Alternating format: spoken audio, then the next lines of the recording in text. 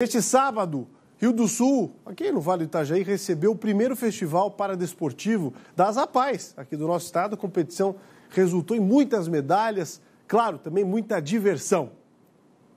Mais de 800 participantes de todo o estado se reuniram para disputar nas modalidades corrida rústica e torneio de dominó.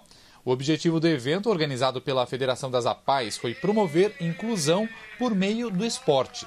É um momento recreativo mesmo, um momento de lazer, de inclusão, aliás, de educação, de saúde e utilizando o esporte como essa ferramenta para a conquista de todos esses direitos mas é, é, muito importante porque aqui não vai ter um, um, campeão das modalidades. Aqui vai ter, todos vão ser vencedores do que fizerem, porque eles vão dar o melhor na sua corrida, o melhor no seu jogo de salão e vão ser premiados por aquilo que eles fizerem. Pela primeira vez, Gilson viajou junto com a escola. Foram em torno de 300 quilômetros percorridos. O atleta estuda na APAI de Sombrio e foi lá que descobriu o talento para diversas modalidades esportivas, de dominó a bocha, compete e se diverte.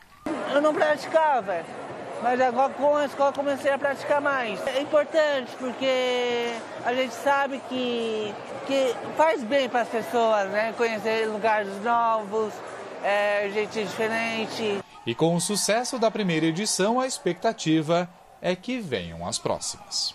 É, como a gente tem a paz do estado todo, então eles conversam um com o outro, se, conhecem, mantêm contato, né? Hoje em dia, com a tecnologia, nossos alunos também estão inseridos na tecnologia, com WhatsApp, com Instagram, então eles se conhecem e aí vão para o estado todo fazendo novas amizades.